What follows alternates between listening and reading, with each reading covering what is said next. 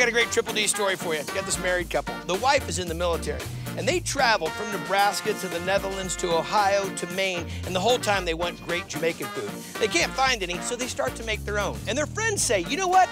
Someday you guys should open your own restaurant. After they get stationed here in Colorado Springs, they do just that. This is Spice Island Grill. How long on the festival bread on the plantain? Uh, another three minutes. Three minutes. One bite and I'm on island time. Jerk pork up.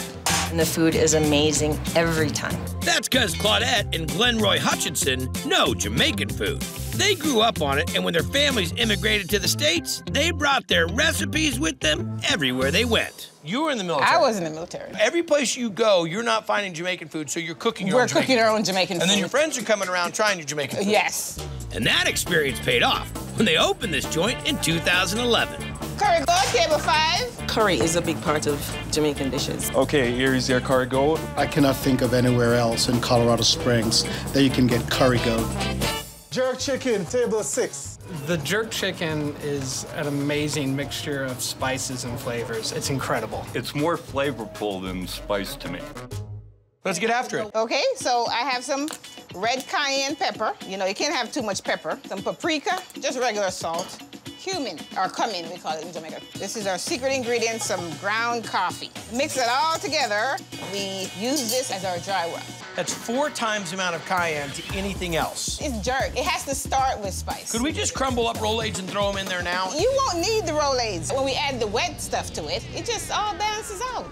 So next we make our marinade. It's gonna be like a paste. In a blender, we add garlic, oil, vinegar, thyme, fresh, and lots of green onions. And ginger. There you go. Okay, next up. Chicken leg quarters. We wash this with, with vinegar. Then we're gonna add the red seasonings. Get it all underneath the skin.